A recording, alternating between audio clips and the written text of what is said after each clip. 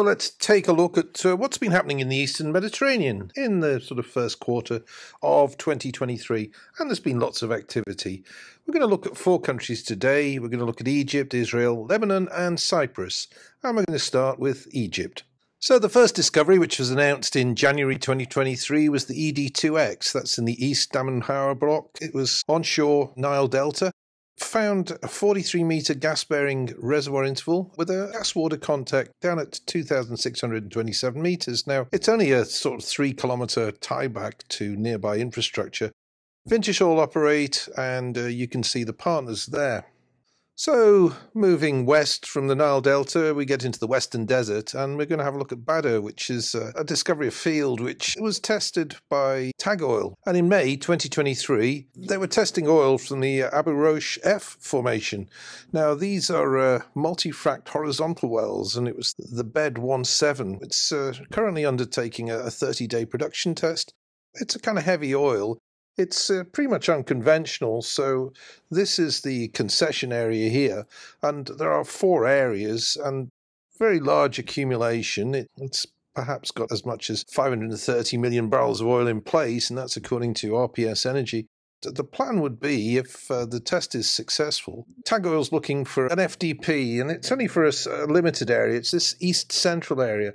The well that's being tested is located here, and if it's successful, going ahead with a field development plan with 20 horizontal multi-frac wells in this east central region. Although the, the STOIIP across the entire concession is actually very large, we're only talking about some 25 million barrels uh, in this east central, and that's a 2C estimate. So we'll watch this space and report back when we get news of that. Now, offshore in the uh, Nile Delta, well, in January of 2023, Nargis 1 was announced as a gas discovery. Now, this is operated by uh, Chevron with partners uh, ENI and uh, Tharwa Petroleum.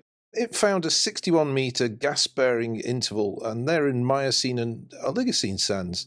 It's a four way dip closure, so a kind of conventional structural trap, drilled by the Stena Forth drill ship in 3009 meters water depth. Talk that it might be as much as uh, 3.5 TCF of gas. We'll wait and see, but uh, there was another well pointed out here on the map. That was the Thuraya well drilled by ENI, and uh, unfortunately, that was announced as a dry hole. Now, that was supposedly uh, an HPHT prospect, a Zohr analog. Zohr is located here, up towards the border with Cyprus. Thuraya was actually located sort of on the border here of, of Israel and Palestine, the Gaza marine area. So, could have been quite a significant find for all of these countries, but uh, Unfortunately, it was dry, so we'll see what follow up activity there is in that area. As well as uh, drilling activity, there is the EGAS uh, 2022 bid round. Now, this involves six offshore blocks, and there's four um, highlighted here in the east with these red blocks outlined here, two over in the western area, and six are onshore here in the delta area.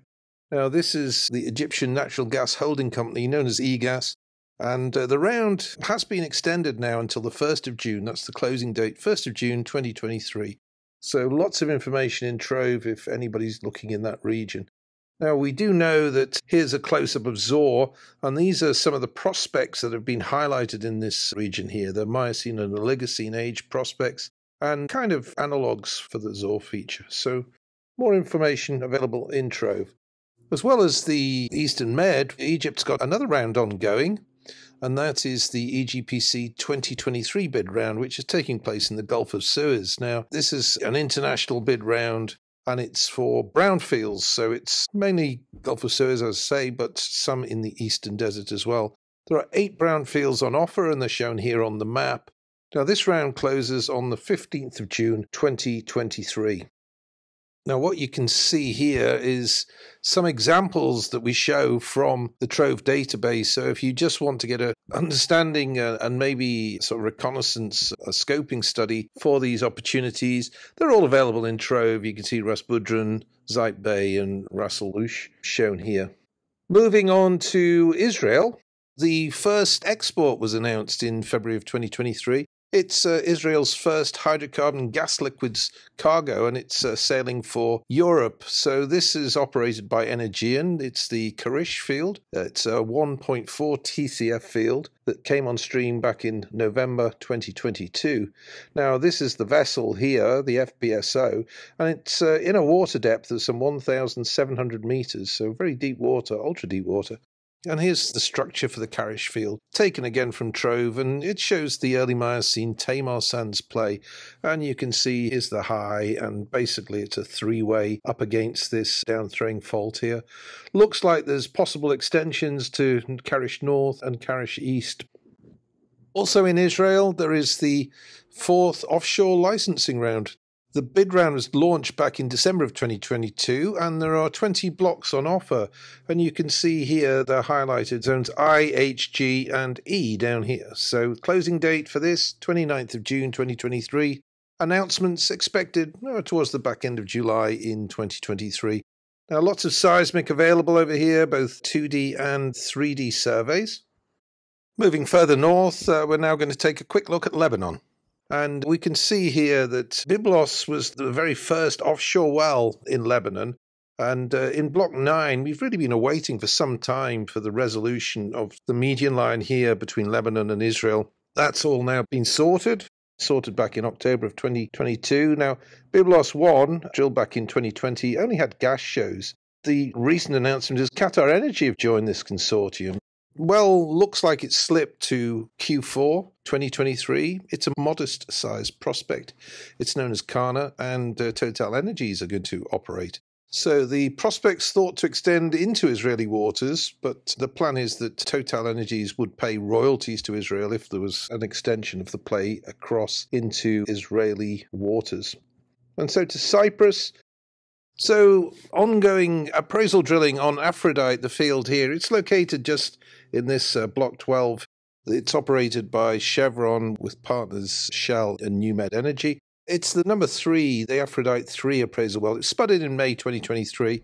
It's the second appraisal well on an accumulation thought to be as much as 4.5 TCF. Now, aim is to boost the certainty prior to the investment of some $3.6 billion in the Cyprus gas project.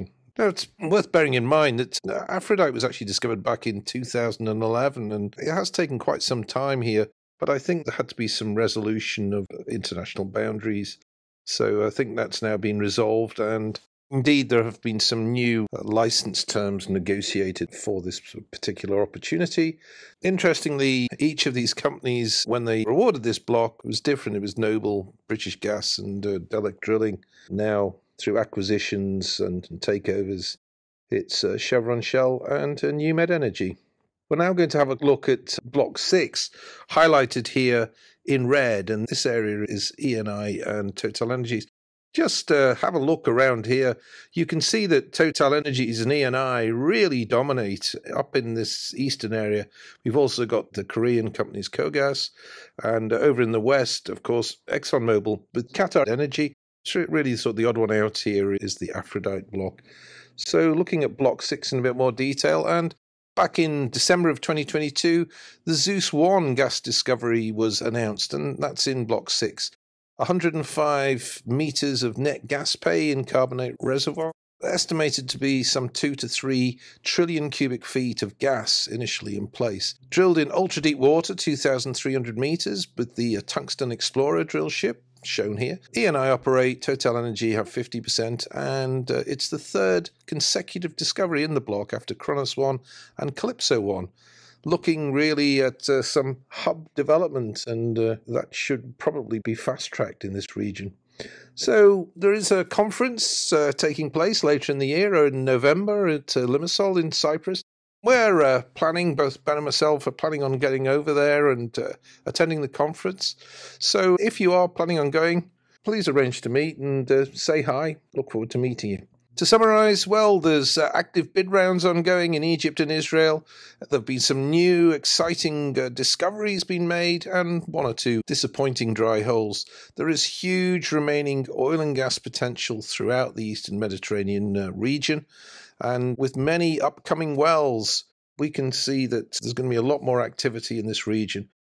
We're particularly going to keep a close eye on the second well offshore Lebanon, but uh, I think we've got somewhere like uh, 10 wells in the region that we'll be following. So come back on the channel and we'll give updates throughout the year.